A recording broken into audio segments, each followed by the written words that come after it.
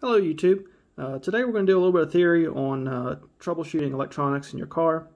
Uh, first we're going to do the theory on it a little bit here and then I'll go out and I'll do some examples on my truck. So what we're looking at here is a very simplified electrical circuit of what's going on in your car. You have a battery and you have a load. This is the symbol for a resistor in electronics drawings. Resistance and load are about everything is going to be resistance in the circuits we're looking at. So in theory, you would have 12 volts here and 12 volts here. But in reality, you have a connection from your battery to your battery terminal and then a connection from your battery terminal to the battery cable, from the battery cable to your motor and to your body on the negative side. So each of those connections, along with this wire, represents a more resistance or more load, a potential of it, if it's a bad connection. So if I have a bad connection here on my battery terminal, that will drop, that will take off some of the voltage and won't let it, all the voltage won't get to your electronics in your car. Same goes if there's a bad connection anywhere else. Now, if a connection is completely broken, then I could put, this is going to represent the terminal right here. Uh, we're going to say this is the terminal that I'm touching with this probe. If nothing is working in my car and I have voltage across the battery and nothing at all is happening, the door, door lights won't come on, nothing, no headlights, emergency flashes, or anything.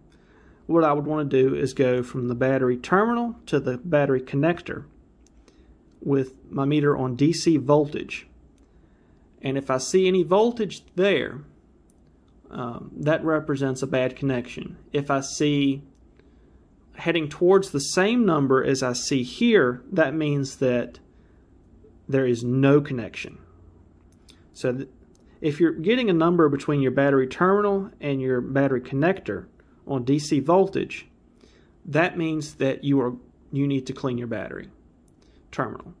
Um, if you want to, if you are getting things on if stuff does work, but something seems like it might be off electronically, you can do this with both terminals. Um, you would just leave your car off, turn on the headlights, go from the terminal to the connector on both sides of the battery, and see if you get a voltage reading. If you get a voltage reading, that means you have a bad connection and you need to clean it. If you're going from your battery terminal to your battery connector and you have 0 volts. You then go from your battery uh, battery connector. If it's possible, you touch the connect the uh, wire itself in the terminal, which should you shouldn't see any exposed conductor there. But if you do, you should test between that and the connector. Uh, again, you should see zero and you just keep working your way down the circuit. And then once you've tested there you want to go from your terminal again to the body of the car or the motor somewhere with bare metal that you can get a good contact on. And if you're reading if you read full battery voltage that means your open is between where you're touching and the battery. If this wire was broken right there and I touched from the battery terminal to here, I would get 12 volts. If this is connected and I touch from here to here, ideally I would see 0 volts, but you're probably going to see just a little bit. You don't want to see more than 0.02. I'm going to say it's that's just an approximation. If you know a lot because you're not we're not in theory, you're in reality. So you're going to see just a little bit but you don't want to see very much at all. 0.02 would be where I start wondering if something's wrong. with just like your headlights or something on. Uh, what, what happens while we're reading these voltages across this wire is because we have resistance. I should have set this equation up a little differently. But volts multiplied by amps equals resistance. So if I get, uh, let's just say 1 volt, I'm seeing 1 volt across from here to here.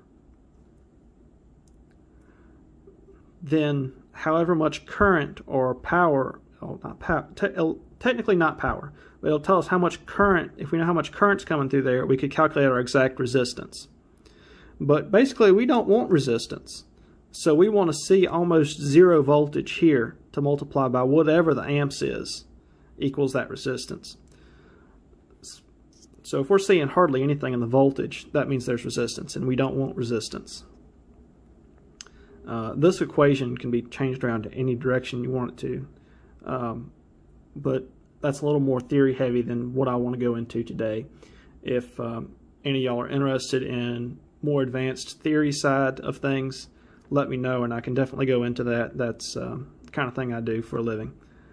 But we're going to head out to the garage now and we're going to get some a uh, little bit of hands-on examples of this and go from there. All right, we're out in the garage now and I've cut on the headlights to create a load or a resistance. Uh, well, a load on the put a load on the battery. So I'm going to test the battery terminal to see if I have a good connection from my connector to my terminal.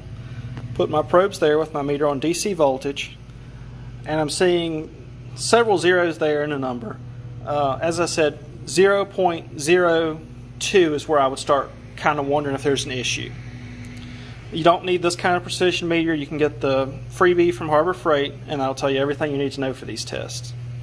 And you see the symbol I got on there, the V with the solid line, the dashed line, that's the symbol for DC voltage. So in my case, the next test I would do is because I'm gonna, it's probably a bad connection there because I got wire sticking out of that. So I'm gonna test from that wire that's sticking out to there. And yep, 0.024. That's telling me that's a bad connection. So I need to repair that. I need to get in there and clean all the corrosion off of that. And uh, probably replace this terminal with something better or even replace this whole ground wire.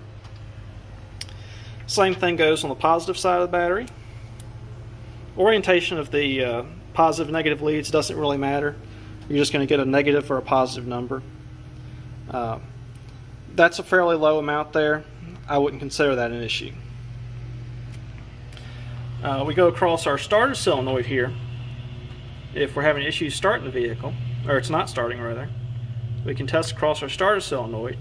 Uh, the one I have my negative probe on goes to the battery. The one I have my positive probe on goes to the starter. With the key in the off or run position, I should see the same voltage I would see across the negative and positive terminals on my battery which I'm seeing here, 12.088. Uh, and we can verify that, just go here and here. Can't do it on the camera. But if I then had someone turn the key to the start position, that's not good. Uh, if I had someone turn the key to the start position, I should see uh, I should see this voltage reading drop to near zero. Once and if it does not drop to zero, that indicates that either the power wire coming from the ignition to tell the starter to spin isn't getting a signal or this is bad. If you're hearing a click in here and this voltage drops but does not get below three quarters of a volt, then you're going to need to replace this. Uh, if you do not hear a click in here, you're going to want to connect the small wire that comes off of it here is what the signal from the ignition is. So you're going to want to put your probe on that and your negative and have someone try, obviously not through the rubber boot, I just can't take it off with one hand, from the wire in here to your negative and have somebody try and start it and see if you get a 12 volt signal there. Actually, let me be sure I'm correct there. This may be one that is always hot and this grounds it. Let me make sure I'm telling you the right thing here.